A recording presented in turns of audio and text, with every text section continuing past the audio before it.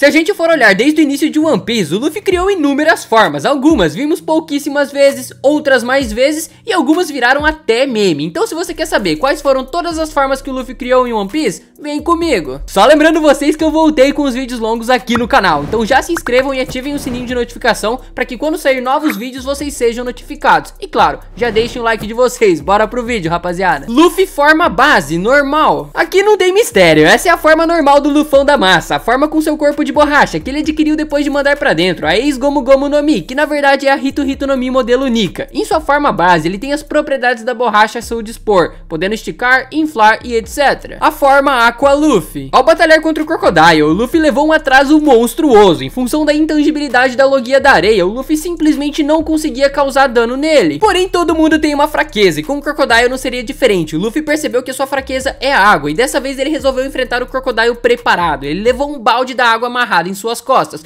porém esse balde poderia ser facilmente quebrado. Então o Luffy resolveu ingerir toda essa água, virando uma caixa d'água ambulante, para assim ele conseguir causar dano no Crocodile. Dessa forma ele se transformou no Aqua Luffy. E agora vamos pro Afro Luffy. Chegando na última partida do Dave Backfight, o X1 ocorreu entre o Fox e o Luffy. O treinador do Luffy era o Usopp, e chegando no vestiário, o Usopp encontrou um baita afro, e ele ficou doido, chegando a dizer ao Luffy que aquele cabelo iria despertar os seus poderes. E obviamente, o Luffy ficou extremamente animado, dessa forma atingindo a sua forma mais poderosa, o Afro Luffy. Oh, zoeira, né, rapaziada? Tá de brincadeira, mas é possivelmente a forma mais engraçada do Luffy. A próxima forma é o Luffy Gear Second. Ao tentar resgatar a Robin, o Luffy deu de cara com o Blue Eno. O couro comeu, mas chegou num ponto em que ele teve que utilizar a sua nova técnica, o Gear Second. No Gear Second, o Luffy acelera o fluxo de sangue em todas as partes do seu corpo, ou partes selecionadas, assim fornecendo mais oxigênio e nutrientes, que aumentam o fluxo sanguíneo nas veias do Lufão. Dessa forma, ele consegue aumentar a sua força, velocidade e a mobilidade. E depois do Gear Second, vem o Gear Third. Pouco tempo depois do Gear Second, o Luffy já lançou a braba e veio o Gear Third, e justamente contra o Rob Lute, ainda em Ennis Lobby. Nessa forma, o Luffy morde o seu polegar e em seguida ele sopra, fazendo com que o seu braço infle. Ele sopra tanto ar no seu corpo que quando ele tá todo focado em um único membro, esse membro fica gigantesco, lá ele infinito. Mas dessa forma, o Luffy aumenta muito o seu poder de destruição. E agora vem o Luffy fixa, ou melhor, o Luffy rebaixado. Com grandes poderes vem grandes responsabilidades, ou melhor, colaterais. Afinal de contas, todas as vezes que o Luffy usava o Gear Third, ele ficava minúsculo. Porém, depois do time skip, ele aprendeu a controlar isso e isso não acontece mais. Luffy Nightmare. Depois de ter a sua sombra furtada, Luffy encontrou outros que perderam as suas sombras também. Porém, para vencerem o Moria, eles ajudam o Luffy a se tornar mais forte, fundindo no Luffy o poder de 100 sombras que eles tinham armazenado. Nessa forma, o Luffy ganhou uma forma bizonha azul, o Luffy Nightmare. Ao adquirir os poderes dos donos daquelas sombras, ele ganhou novas habilidades, ficou gigantesco e muito mais forte. Porém, essa alegria durou pouco, apenas 10 minutos. Depois disso, as sombras voltaram para os seus donos originais. A próxima forma é o Luffy Champion. Ao fugir de Impel Down, o Luffy e o Mr. Tree tiveram que ficar para trás para segurar o Magellan, que possuía a fruta do veneno, uma fruta absurdamente forte. Ou seja, eles não podiam encostar no Magellan, senão eles iriam de arrasta para cima. Porém, o Luffy é esperto, ele teve uma ideia e pediu para o Mr. Tree criar uma armadura para ele. E o pior é que deu certo, ele conseguiu atacar o Magellan sem se expor ao veneno, e logo depois eles conseguiram fugir. Agora vamos pro Gear 4 Baldman. Durante o seu treinamento de dois anos, o Luffy desenvolveu seu Gear 4 e vimos ele ser utilizado de fato somente em Dressrosa, lembrando muito o Gear 3 o Gear 4 possui algumas diferenças. Antes de soprar o seu braço, ele o reveste com Haki, e ao invés de soprar os ossos, ele sopra os seus músculos, e logo na sequência ele distribui esse ar pelo corpo, podendo assim atingir três subformas, e a primeira é a Boundman. Nessa subforma, as proporções do Luffy ficam deformadas, e o seu corpo se torna muito maior em tamanho, com os braços tronco superior e as pernas revestidos com haki. Mas vem uma curiosidade, ele fica quicando toda hora. A próxima subforma é o Gear 4 Tankman. A segunda subforma aparece durante a batalha contra o Charlotte Cracker, onde o Luffy simplesmente comeu os biscoitos do Cracker até não aguentar mais, ficando completamente inchado. Olha o tamanho do homem. Porém, essa forma é muito mais defensiva, ele reveste o seu corpo até a sua barriga com haki, e todos que o atacarem recebem seu ataque de volta, só que mais forte ainda, usando a barriga enorme dele como um lançador. E agora mais uma subforma, a Gear Force Snakeman. A terceira subforma do Luffy é a Snakeman e ela aparece na sua batalha contra o Katakuri. O curioso é que ela parece já uma pré-forma do Gear Fifth, como a gente pode ver agora, já que seus cabelos ficam em formato de chamas e uma espécie de fumaça é colocada sobre os seus ombros. Nessa forma, ele ganha um grande aumento de velocidade, podendo mudar até a direção dos seus ataques. Dessa forma, ele ataca de todas as direções, tornando ele muito mais ágil e forte. Porém, por ser uma subforma bem mais ofensiva, a sua parte defensiva fica bem mais exposta. Vamos conhecer agora o Luffy Taro. Ao chegar em um ano, o Luffy precisava se disfarçar para não ser descoberto, e nessa forma, vimos o Luffy com um kimono, chinelo, um coque samurai e de quebra uma espada, formando assim um traje de samurai.